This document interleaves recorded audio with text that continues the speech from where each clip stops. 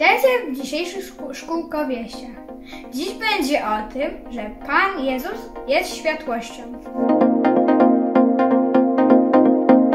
Co to znaczy, że Jezus jest światłością świata? To znaczy, że oświetla jak latarnia drogę naszego życia? Jezus nam oświeca drogę. To znaczy, że grzech jest ciemnością, a Jezus tą ciemność rozświetla. To znaczy, że jeżeli żyjemy bez Pana Jezusa, nasze życie jest jak noc. E, A jeżeli e, wierzymy w Niego, to On rozświetla nasze życie. Witamy naszego korespondenta terenowego Aleksandrego Łuszko. Witam wszystkich bardzo serdecznie. Czy dobrze mnie słychać? Tak, słychać Panią bardzo dobrze, ale jakoś nie widać nic. Nic nie widzicie? Ojej, chyba mamy jakiś problem techniczny. Y, Zaraz y, postaramy się go naprawić, a tymczasem chcę opowiedzieć Wam historię człowieka, który też nic nie widział. Ten człowiek urodził się niewidomy. Nigdy nic nie widział. My używamy naszych oczu, zupełnie się nad tym nie zastanawiając, nie myśląc, o, chciałabym zobaczyć słońce, drzewo czy kolorowe jesienne liście. Po prostu patrzymy i widzimy. Ale ten człowiek nie mógł niczego zobaczyć. On pewnie nie umiał nawet sobie wyobrazić, jak to jest widzieć. Cała jego wiedza o otaczającym go świecie pochodziła z tego, co usłyszał lub czego mógł dotknąć.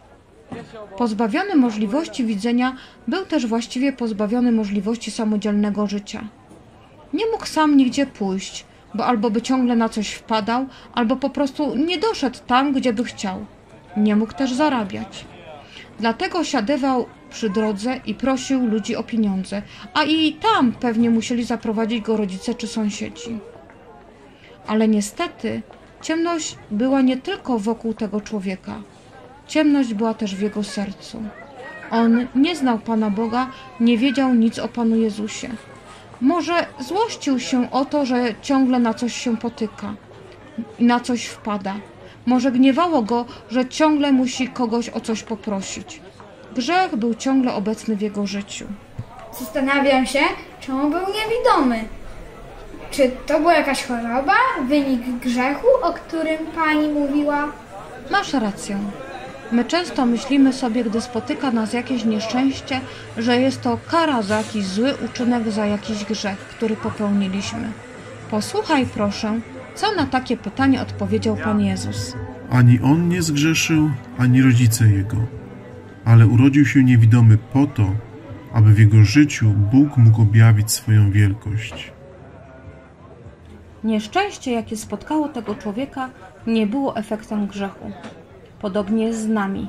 Jeśli przydarza nam się jakieś nieszczęście, to nie musi być efekt grzechu.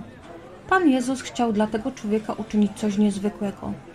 Splunął na ziemię, a powstałe w ten sposób błoto nałożył na oczy tego człowieka. A potem powiedział do niego: Idź, obmyj się w sadzawce Siloe. Pamiętacie? Ten człowiek nie widzi. Pewnie trudno było mu zrobić to, co Pan Jezus mu polecił. Jakoś jednak dostał się do sadzawki Siloe i obmył w niej.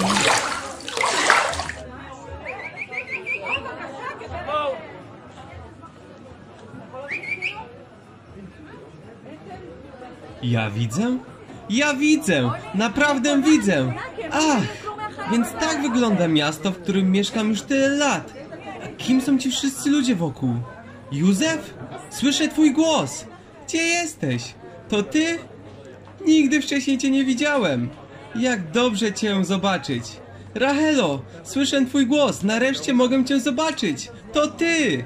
Tyle razy mi pomagałaś. Dziękuję ci za to. Ten człowiek był niesamowicie zaskoczony i ucieszony tym, że teraz mógł zobaczyć to, czego wcześniej nigdy nie widział. Ludzie, którzy byli wokół niego i sąsiedzi, byli równie zdumieni tą sytuacją. Przez tyle lat znali go przecież jako niewidomego, a teraz on widzi. Czy to nie ty siedywałeś przy drodze żebrząc? Jak to się stało, że teraz widzisz? Tak, to ja. Widzę, naprawdę widzę. Człowiek, którego nazywają Jezusem, zrobił błoto, Pomazał nim oczy moje, a potem kazał mi iść i obmyć się w sadzawce Syloe. I teraz widzę. Jeśli to faktycznie ty i teraz widzisz, choć przedtem byłeś ślepy, to musisz iść do faryzeuszy, pokazać się im na dowód swojego uzdrowienia. Oczy tego człowieka zostały uzdrowione. To musiało być coś nieprawdopodobnego. Widzieć wszystko, choć przedtem nie widziało się nic. Chociaż jednak jego oczy zostały uzdrowione, w jego sercu nadal panowała ciemność grzechu. On nie znał Pana Jezusa i nic o nim nie wiedział. Kiedy przyszedł do faryzeuszy, ci również go wypytywali. Jak to się stało, że widzisz? Jezus nałożył błoto na moje oczy, obmyłem się i teraz widzę. Faryzeusze również byli bardzo zaskoczeni tym, że człowiek, który od urodzenia był niewidomy, teraz widzi. Zaczęli sprzeczać się między sobą o to, czy Jezus mógł, czy nie mógł zrobić ten cud, czy to, co zrobił, pochodziło, czy też nie pochodziło od Pana Boga. Zapytali o to uzdrowionego człowieka. Co sądzisz o Jezusie, skoro otworzył oczy twoje? To prorok. Faryzeusze jednak nie mogli pogodzić się z tym, że Pan Jezus mógł uzdrowić tego człowieka. Chociaż słyszeli i wiedzieli, nie potrafili tego zrozumieć. Dlatego jeszcze raz kazali człowiekowi opowiedzieć całą historię. Co jeszcze chcecie ode mnie usłyszeć? Nie widziałem, a teraz widzę.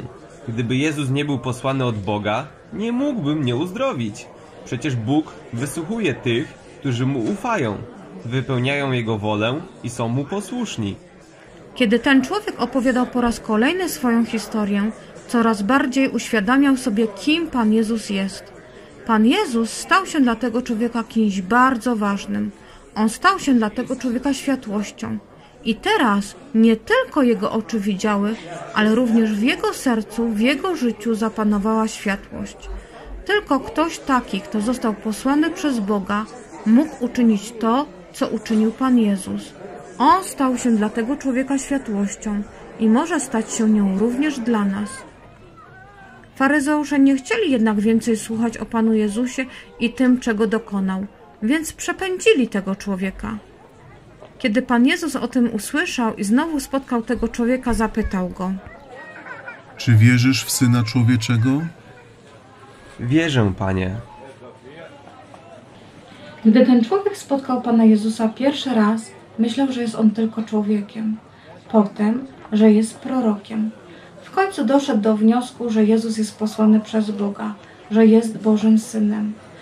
Pan Jezus stał się dla tego człowieka kimś bardzo ważnym. Stał się dla niego światłością. Ten człowiek zrozumiał, że Pan Jezus jest Zbawicielem posłanym przez Boga po to, aby wybawić go od kary za grzechy. Pan Jezus sprawił, że ten człowiek zaczął widzieć, uzdrowił jego oczy, ale on pragnął dla tego człowieka czegoś o wiele, wiele więcej. On chciał zmienić całe jego życie. Pan Jezus pragnie również tego dla nas. On chce stać się naszym Zbawicielem. Chce, abyśmy przestali być ślepi na Boga i Jego miłość, ale abyśmy Go mogli zobaczyć i poznać, jak jest dobry i jak bardzo nas kocha.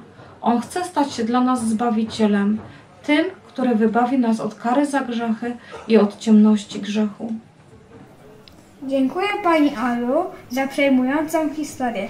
I dobrze, że mogliśmy się nie tylko usłyszeć, ale i zobaczyć. Ja też się cieszę. Do zobaczenia. Do zobaczenia, a teraz kącik misyjny.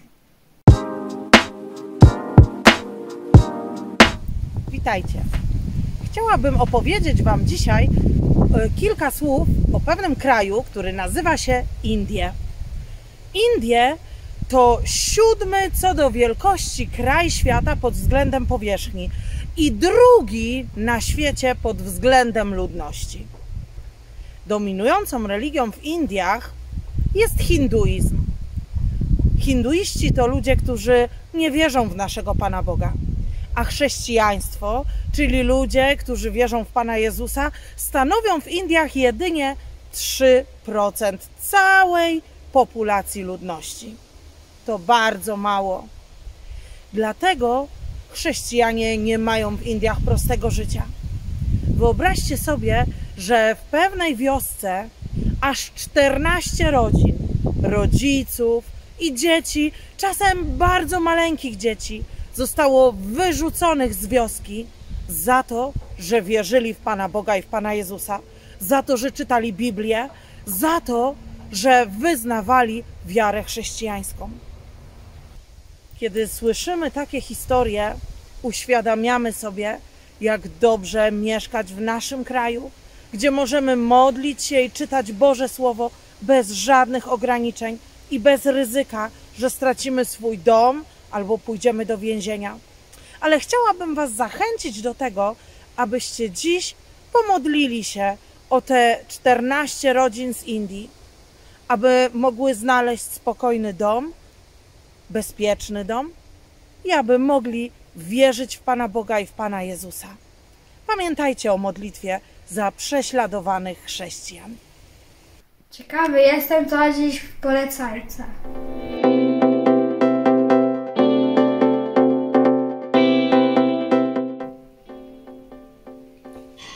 Czy lubicie grać w gry planszowe? Chciałam Wam dzisiaj przedstawić jedną z nich. Dowiecie się tutaj, jak został stworzony świat, jak żyli patriarchowie w Starym Testamencie. Jest plansza do gry, są cztery pionki, jest kostka. Rzucamy, przesuwamy się pionkami, a potem odpowiadamy na pytania. Zadam Wam pierwsze z nich. Jak nazywała się kraina, którą Bóg stworzył na początku świata? Wybierz dobrą odpowiedź. A. Egipt, B. Eden, C. Betlejem, D. Kanaan. Już wiesz? Oczywiście, że Eden. A teraz działamy. Kącik kreatywny. Cześć dzieciaki. Dziś goszczę u Ani. Cześć dzieciaki. E, Ania zajmuje się rękodziełem i robi różne bardzo ciekawe i kreatywne rzeczy. I dzisiaj chciałaby nam pokazać, jak zrobić dynię z materiału. Zapraszam Was na to bardzo serdecznie. Zatem przystępujemy do pracy. Dzisiejsza e, praca to jesienna dynia z materiału. Do tego potrzebujemy e, materiał, może być dzianina, e, welur, cokolwiek, nożyczki, wypychacz, tak zwana kulka silikonowa, igła z nitką i gałązka.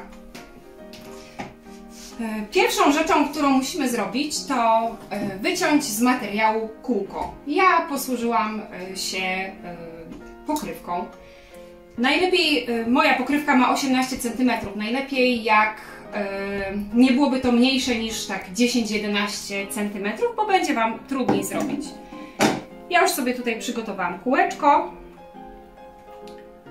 i musimy teraz przefastrygować nasze kółeczko naokoło.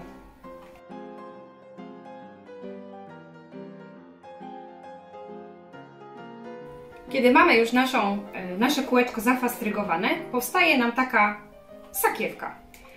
I teraz chyba najtrudniejsza rzecz, którą musimy wykonać, to trzymając nitkę, żeby nam się ta sakiewka nie powiększała, musimy wypchać nasz materiał.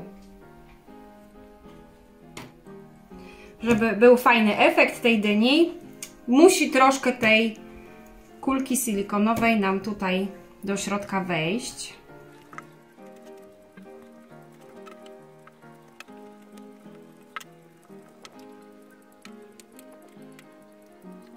Kiedy nasza dynia jest już wypchana, musimy mocno zaciągnąć tą nitkę i zeszyć. Możecie poprosić rodziców.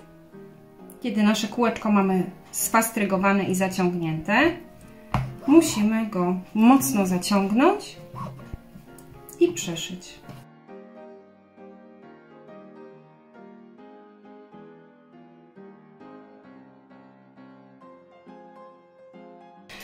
Teraz obetniemy sobie te nitki, które nam tutaj wystają. I nasza dynia wygląda na razie tak. Ale żeby wyglądała bardziej jak dynia, musimy jej jeszcze nadać kształt. Znowu robimy sobie węzełek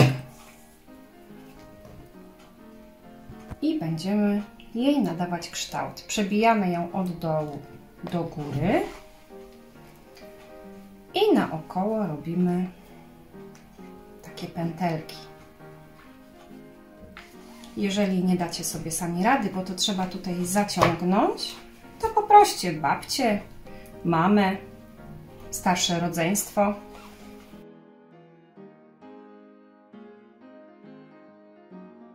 Nasza dynia już prawie gotowa, jest przeszyta naokoło i zeszyta na dole. Brakuje jej jeszcze, żeby wyglądała bardziej autentycznie, ogonka. Ja mam akurat ogonek z wysuszonej części pomidora. Może to być gałązka znaleziona na spacerze i wklejamy ją sobie klejem na gorąco.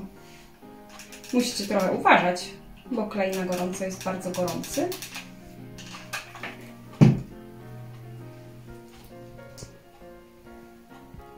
Mocno przyciskamy i nasza dynia jest gotowa.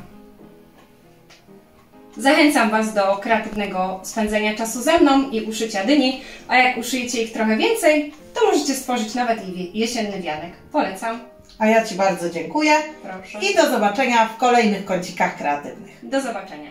Podejrzeliśmy trochę, jak nas oglądacie. Zobaczcie.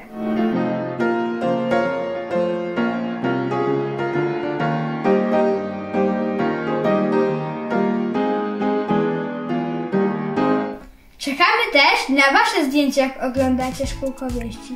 I nie zapomnijcie, żeby zostawić łapki w górę i subskrypcji. I do zobaczenia za tydzień. Cześć!